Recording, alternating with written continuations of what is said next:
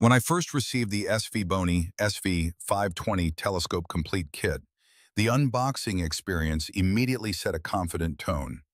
Every component was neatly arranged, individually protected, and clearly labeled, an uncommon level of organization for an entry-level astronomy kit. The main optical tube, a robust aluminum alloy body with a clean spray-painted finish, felt surprisingly solid in hand. The stainless steel tripod, folded with precision, gave off the reassuring weight and rigidity of something designed for real, practical field use.